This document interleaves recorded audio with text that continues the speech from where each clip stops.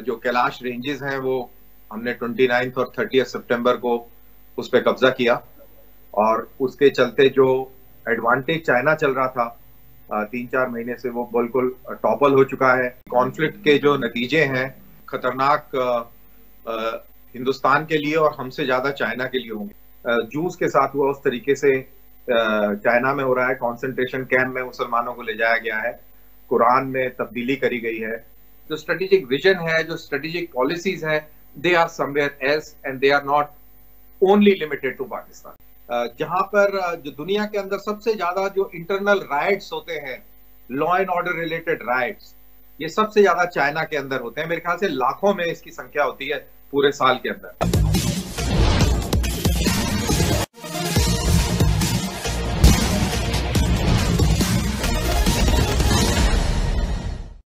अभी आपने पाकिस्तान के एक नामी पत्रकार जो अपने भारत विरोधी बयान के लिए जाना जाता है, उसका भारत के एक सेवानिवृत्त सैन्य अधिकारी का लिया गया इंटरव्यू का कुछ अंश सुना।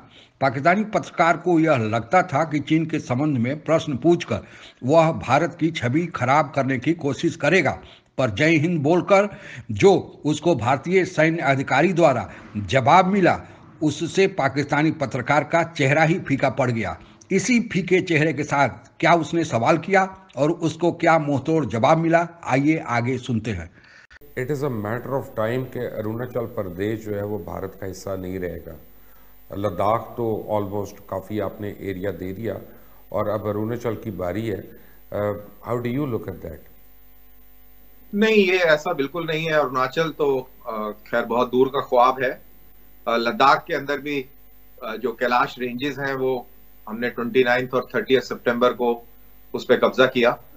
और उसके चलते जो एडवांटेज चाइना चल रहा था तीन चार महीने से वो बिल्कुल टॉपल हो चुका है। चाइनीज़ काफ़ी बैकफुट पे हैं, परेशान हैं और उनको एक एग्जिट रूट चाहिए इस सिचुएशन से निकलने के लिए। और वो हमारे मोदी जी उनको देना नहीं चाह रहे हैं। और इस चक्कर में ये पेच लड़ा हुआ है, बहुत गंभीर पेच लड़ा हुआ है। और सिचुएशन टेंस है। और लेकिन जो है वो है आपके भी सामने है। आगे आपको क्या लग रहा है? लद्दाख पे इस पे कॉन्फ्लिक्ट हो सकता है? बिल्कुल नहीं होगा कॉन्फ्लिक्ट क्योंकि कॉन्फ्लिक्ट के जो नतीजे हैं वो बहुत खतरनाक होंगे।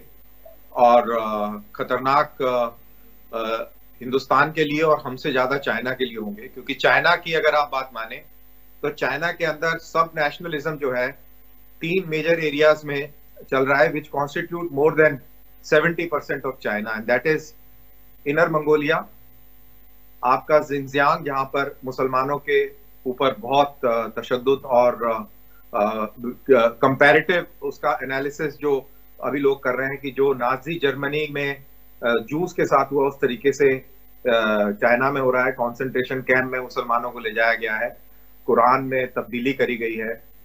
वहाँ पर उन उनको रमज़ान रोज़े रखने का वो अलाउड नहीं है और अभी मेरे ख्याल से हज के ऊपर भी उन्होंने पाबंदी लगाई है और पुरानी पुरानी मस्जिदों को ट्रांसफॉर्म कर दिया है म्यूजियम्स में और स्कूल में। तो इस तरीके की कार्रवाई वहाँ चल रही है।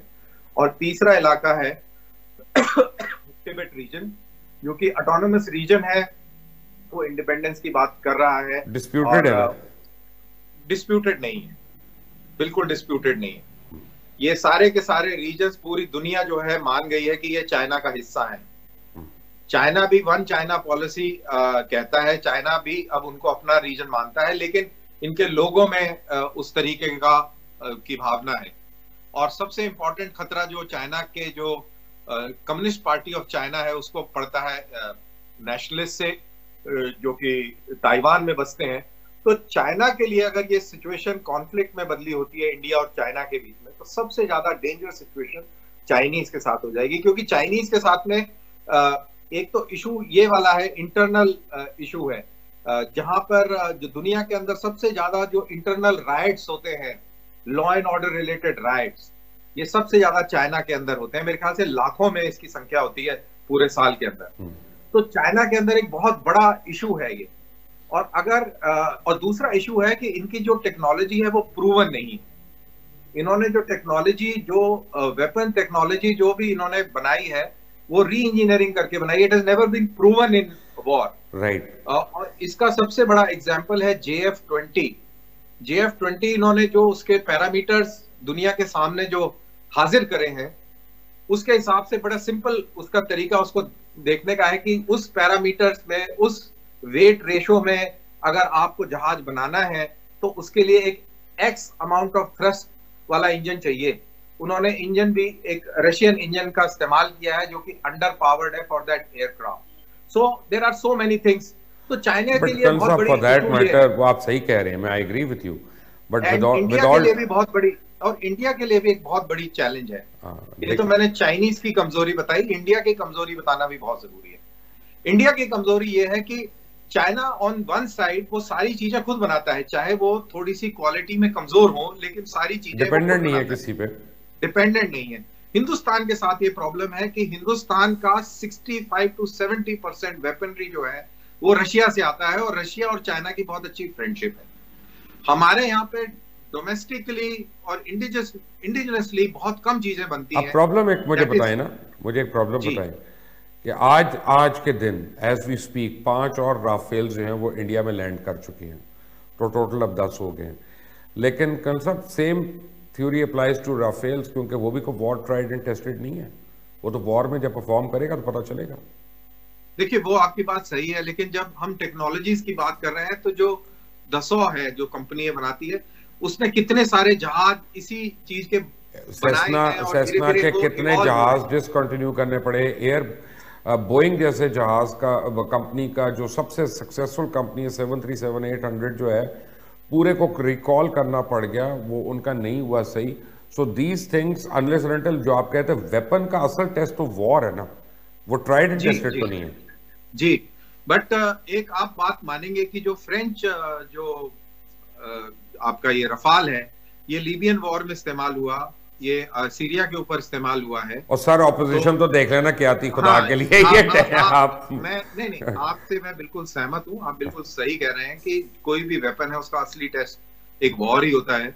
और आ, इंडिया में रफाल ज़रूर आया है। आ, लेकिन उस लेवल पर आ, जि, जितनी तादाद में आने चाहिए वो उतनी तादाद में नहीं है। तो ये सारी ड्रॉबैक्स हैं हमारे भी ड्रॉबैक अल्लाह हाफिज। अभी आपने जो परिचर्चा सुनी, उससे अंदाज़ा लगा लिया होगा कि भारतीय सेना का चीन के साथ सीमा पर जो तनाव चल रहा है, उसमें भारत की क्या स्थिति है। यह सही है कि शुरू में अचानक चीनी सैनिकों द्वारा धोखे से हमला कर गालवान घाटी में भारत के 20 सैनिकों को शहीद कर दिया गया था, उससे चीन को बढ़त हासिल हो गई थी। पर जवाब में भारतीय सेना द्वारा जो ब्लैक टॉप सहित कैलाश पहाड़ियों की श्रृंखला पर जो कब्जा जमा लिया गया है, उससे भारत को सामरिक दृष्टि से बहुत ही बढ़त हासिल हो गई है। यही कारण है कि भारत और चीन के बीच सैनिक स्तर पर कई दौर की वार्ता हुई, पर बेनतीजा रहा। कारण, भारत उस कब्जे किए गए क्षेत्र को छोड़ना नहीं चाहता और चीन उस कब्जे गए, किए गए क्षेत्र को छोड़ने के लिए कह रहा है। इसी श्रृंखला में अभी हाल में ही टू प्लस टू समझौता अमेरिका के साथ हुआ, जो भारत के साथ रक्षा क्षेत्र में मील का पत्थर साबित होगा। भारत एक मज़बूत देश है और अपनी सीमाओं की रक्षा करना जानता है। आप अगर हमसे जुड़ा रहना चाहते हैं तो कृपया मेरे चैनल को सब्सक्राइब करें तथा बेल आइकन भी दबा दें ताकि नई वीडियो की जानकारी तुरंत आप तक पहुँच जाए। धन्यवाद। जय हिंद।